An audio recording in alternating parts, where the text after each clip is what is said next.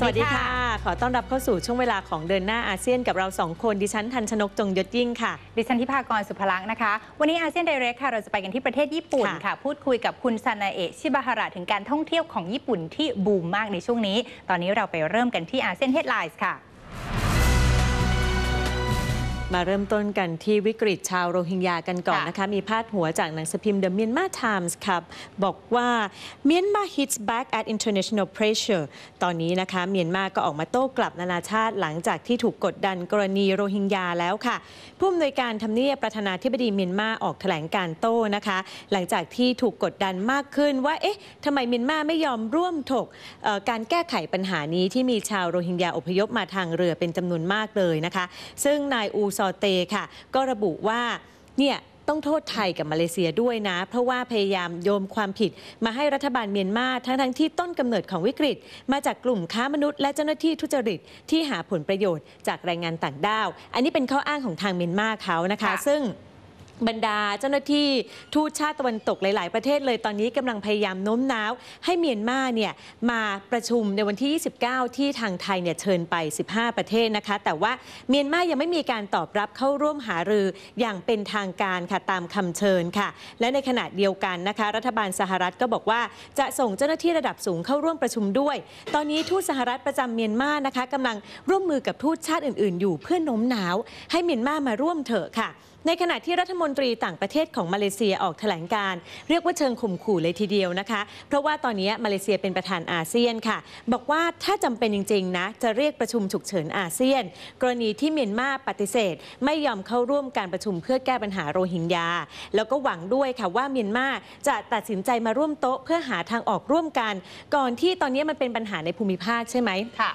ปล่อยยืดเยื้อไปไม่ยอมมาประชุมเนี่ยอาจจะต้องยกระดับบานปลายไปถึงระดับสากลเลยทีเดียวค่ะ ในขณะที่นายอูซอเตนะคะผู้อำนวยการทำเนียบประธานาธิบดีเมียนมาก็บอกว่าเมียนมาไม่ใช่ประเทศเดียวที่ควรถูกตำหนินะคะ ทีนี้เขาก็ไปให้สัมภาษณ์กับสำนักข่าวต่างชาติค่ะบอกว่าจะไม่ร่วมประชุมนัดพิเศษ ถ้าเกิดมีการระบุคำว่าโรฮิงญาในการหารือหรือว่าในการเชิญประชุมค่ะ เพราะว่ารัฐบาลเมียนมาจริง ๆ แล้วนะคะ เรียกคนกลุ่มนี้ว่าเบงกาลี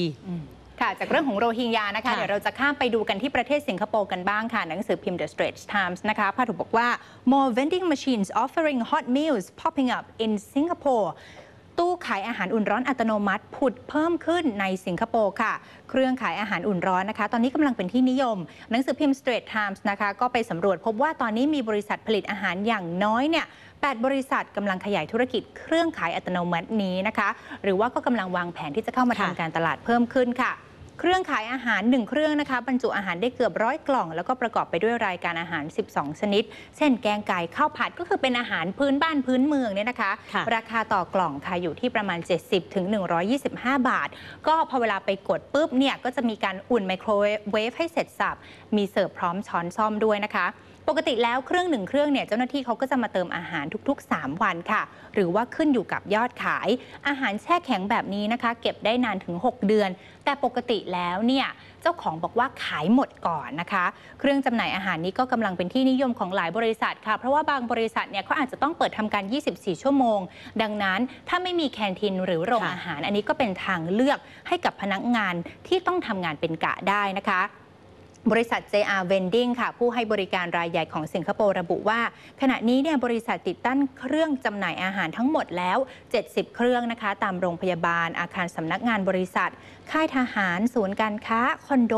โรงเรียน คือ 2 ปีที่ผ่านมาเนี่ยมีแค่ 20 เครื่องเท่านั้นนะคะ แล้วก็เพิ่มขึ้นอย่างรวดเร็วค่ะตั้งเป้าว่าปีหน้าจะเพิ่มเป็น 200 เครื่องนะคะกำลังทำงานร่วมกับโรงแรมราคาประหยัดแห่งหนึ่งด้วย เพื่อติดตั้งเครื่องนี้สำหรับขายอาหารเช้าค่ะ ในขณะที่อีกบริษัทหนึ่งนะคะ ก็ส่งอาหารแช่แข็งไปขายตามโรงแรม 5 ดาว เพื่อจำหน่ายเป็นอาหารมื้อดึก โดยทางโรงแรมเนี่ยก็เอาไปตกแต่งใหม่ให้สวยงามคิดราคาเพิ่มขึ้นถึง 3 เท่านะคะ ทั้งนี้เครื่องจำหน่ายอาหารตามตู้แบบนี้เนี่ยนะคะ พัฒนาโดยบริษัทสัญชาติยุโรปค่ะ ต้นทุนเครื่องละ 30,000 ดอลลาร์สิงคโปร์หรือว่าประมาณ 750,000 บาทถ้าขายได้อย่างน้อยวันละ 30 กล่องต่อวัน บริษัท JR Vending บอกว่า เดี๋ยวไปติดตั้งให้ฟรีเลยนะคะ ไม่คิดค่าใช้จ่ายค่ะ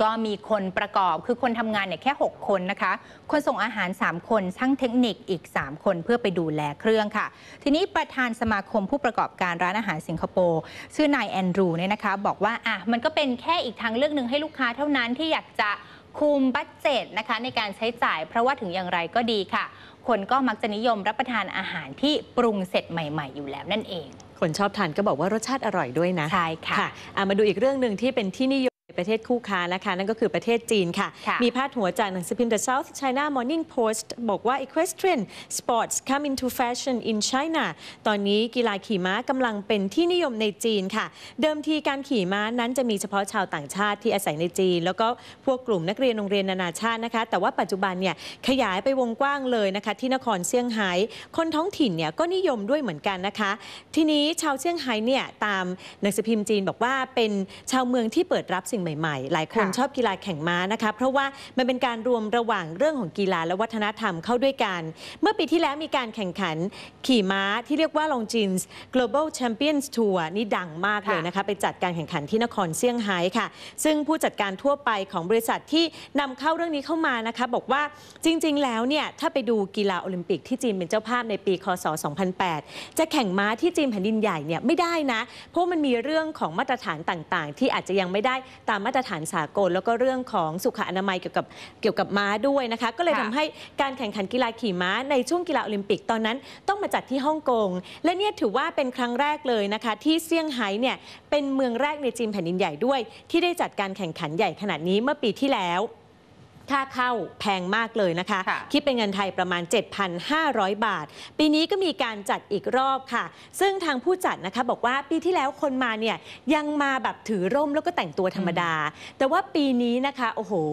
สาวจีนเนี่ยสาวเซี่ยงไฮ้แต่งเต็มกันมากเลยนะคะ ชุดเนี่ยมาแฟชั่นเต็มที่เลย แล้วก็มีเครื่องประดับศีรษะด้วย คนมาก็รู้สึกสนุกนะคะสำหรับเรื่องของกิจกรรมขี่ม้าที่เซี่ยงไฮ้นั้นตอนนี้ได้รับความนิยมเป็นอย่างมากเลย เมื่อ 10 ปีที่แล้วเนี่ยมีสโมสรขี่ม้าแค่สโมสรเดียว ตอนนี้มี 19 แห่งแล้วนะคะ ส่วนที่ปักกิ่งเองก็มีสโมสรขี่ม้าขยายเป็นกว่า 100 สโมสรแล้วทีเดียวค่ะ ก็ถือว่าเป็นนิมิตหมายที่ดีนะคะที่สามารถจัดกิจกรรมเดลองจินทัวร์ได้นะคะเพราะว่าปีที่แล้วเนี่ยคณะกรรมาการยุโรป ยกเว้นข้อกำหนดให้สำหรับเซี่ยงไฮ้เพราะว่าผ่านมาตรฐานหลาย ๆ อย่างนะคะะจากคู่ค้าอาเซียนของเราที่เป็นประเทศจีนนะคะ เดี๋ยวเราไปดูอาเซียนเดเรกค่ะ คู่ค้าอีกหนึ่งประเทศญี่ปุ่นค่ะ ตอนนี้คุณซานาเอะอยู่ในสายแล้วค่ะคำบังว่า Hello good evening good evening. How, How are are you you? Sanae-san Great, thank you. How are you too? Yeah we're great too So today you have a story about Japan tourism right How's how is going Yes, I would like to talk about the Yes. tourism in Japan because uh, Yes. today so my topic is about these products which are made in Japan and they are becoming very popular as souvenirs from the overseas tourists. And well, well, let me explain background about this uh, Japanese um, uh, Japan becoming a very popular tourist destination. Um, in 2014, there were 13 million tourists who came over to Japan just for sightseeing, and that was a record number. And especially people from Asia, for example, Thailand, Taiwan, China, and South Korea, they all come to Japan to spend their Okay. holiday here. Mm-hmm. And they want something which are specifically made in Japan. And one of the popular items here is their cosmetics and personal items. And some of the tourists even buy in huge quantities. So that's one of the characteristics nowadays. And how the Japanese uh, companies are trying to meet the demand to for the souvenirs. Well, there is this product called Meg Rhythm, an eye mask. I don't know whether that's popular overseas, but uh, that's made by a cosmetics company called Kao. And uh, they have this uh, 26 million packages being sold as a very good record since they launched this product in 2007. Okay And Kao will expand their production capacity by 2016. Right. And there is this um, Mondamin, which is a mouthwash, which is also popular among the, the among the tourists. And also, this uh, um, manufacturer of Mondamin has decided to expand and build a new uh, facility. Okay And why are the made in Japan products so popular? Well, because this made in Japan gives a sen- symbol of um, reliability, and it's kind of a brand in a way. Okay. And also, the Japanese personal items are very affordable and they're individually packaged, and tourists think that it's very suitable for souvenirs. And also, people from Asian countries are becoming more aware of health and well-being. Okay, Sanya-san, I wonder, so the eye mask, megarism, and Mondamin are also popular among Japanese users. hmm Yes, indeed. So, Oh, for example, Mondamin has this um, 40% of the Japanese mouthwash market here in Japan alone. So that's Okay. a very big number. Okay, thank you very much, Sanya-san, Alright. for your report. อาริกาโตโกเซ Okay, มัส thank you. Bye. Bye. ค่ะ ตอนนี้นะคะการท่องเที่ยวที่ญี่ปุ่นนั้นกำลังคึกคักอย่างมากเลยค่ะ ค่ะปีที่แล้วนะคะ มีชาวต่างชาติไปเที่ยวญี่ปุ่นตั้ง 13 ล้านคนค่ะ ค่ะประเทศที่ไปเยอะๆ ก็ยังมีไต้หวันจีน เกาหลีใต้แล้วก็ไทยด้วย ทีนี้พอไปเยอะๆเนี่ยสินค้าที่ขายดีก็มีมากเลยทีเดียวใช่ไหมคะ ใช่ค่ะ ก็มีเด่นๆเลยนะคะ2ชนิดค่ะ โดยมากก็จะเป็นเครื่องสำอางของใช้ส่วนตัวนะคะ คุณสนาเอกยกตัวอย่างค่ะ เป็นผลิตภัณฑ์มาร์ s สตาร์รุ่น Make Rhythm ของบริษัทคาโอนะคะ เป็นที่นิยมมากจนบริษัทเตรียมขยายการผลิตภายในปีหน้า คือตั้งแต่เปิดตัวสินค้าในปี 2007 เนี่ยนะคะ ตอนนี้ขายได้กว่า 26 ล้านชิ้นแล้วค่ะ ค่ะ อีกตัวหนึ่งก็คือน้ำยาบ้วนปากมอนดามินนะคะ ของบริษัท Earth Chemical เป็นที่นิยมเช่นเดียวกันค่ะ ปัจจุบันเตรียมสร้างโรงงานใหม่เพื่อผลิตโดยเฉพาะนะคะ แล้วก็มอนดามินเนี่ยครองสัดส่วนในตลาดน้ำยาบ้วนปากในญี่ปุ่นมากถึง 40%ที่ทั้ง2ตัวเนี่ยค่ะ ก็เป็นที่นิยมในหมู่คนญี่ปุ่นด้วย ค่ะ ใช่ค่ะ สินค้าญี่ปุ่นขายดีนะคะ เพราะว่าคำว่า made in Japan เลย มันเป็นเรื่องของความน่าเชื่อถือค่ะด้วยนะคะ ในขณะเดียวกันก็ราคาไม่แพง แพคเกจจิ้งบรรจุหีบห่อเนี่ยสวยนะคะ เหมาะสำหรับการเป็นของที่ระลึกหรือของฝากค่ะค่ะ ก็พูดถึงเรื่องราวของญี่ปุ่นนะคะ คู่ค้าอาเซียน วันนี้รายงานพิเศษจะไปดูค่ะนิทรรศการซึ่งเป็นคู่ค้าอาเซียนเช่นเดียวกันใช่ที่ไหนค่ะคะเกี่ยวข้องกับประเทศอินเดียนะคะ คุณทศพลชัยสำริดผลวันนี้จะพาไปดูนิทรรศการที่รวบรวมภาพถ่ายฝีพระหัตถ์ของสมเด็จพระเทพ พระรัตนราชสุดาสยามบรมราชกุมารค่ะ เป็นภาพถ่ายที่ท่านทรงได้ถ่ายไว้ตอนอยู่ที่ประเทศอินเดียนะคะ เสด็จเยือนหลายรอบค่ะ ก็เลยถ่ายมาเป็นภาพที่ระลึกนะคะ จะสวยงามแค่ไหนติดตามได้ในรายงานพิเศษนี้ค่ะ คุณผู้ชมครับสถานเอกอัครราชทูตอินเดียประจำประเทศไทย ได้จัดนิทรรศการภาพถ่ายฝีพระหัตถ์สมเด็จพระเทพรัตนราชสุดาสยามบรมราชกุมารีขณะทรงพระราชดำเนินเยือนอินเดีย เพื่อเปิดโอกาสให้ประชาชนทั่วไป ได้เรียนรู้เกี่ยวกับอินเดียในมิติต่างๆ ผ่านภาพถ่ายฝีพระหัตถ์ที่สวยงาม นิทรรศการนี้มีชื่อเต็มว่า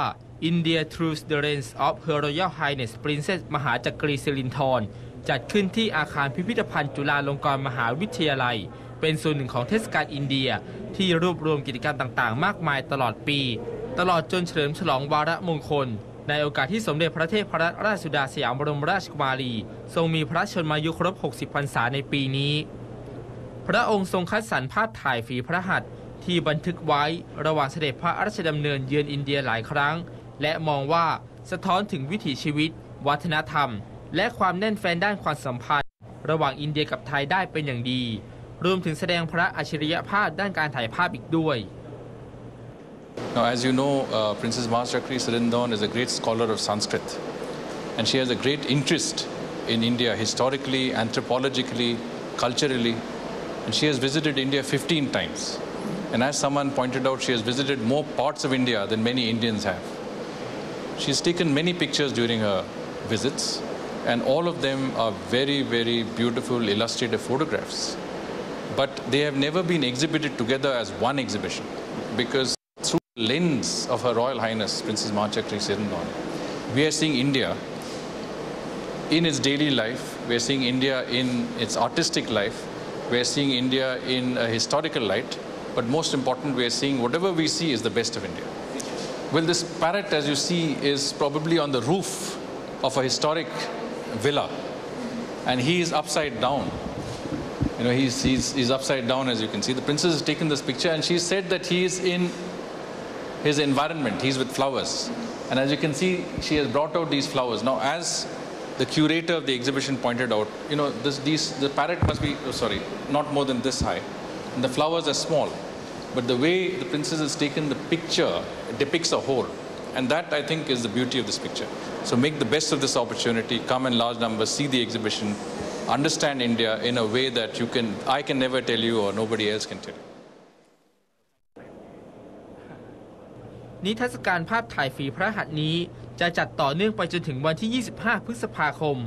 ซึ่งในวันสุดท้ายนั้น สมเด็จพระเทพรัตนราชสุดาสยามบรมราชกุมารี ทรงเสด็จเยี่ยมชมนิทรรศการด้วยพระองค์เองอีกด้วย ทศพลชัยสำริดผล ทีมข่าวอาเซียนสปริงนิวส์รายงาน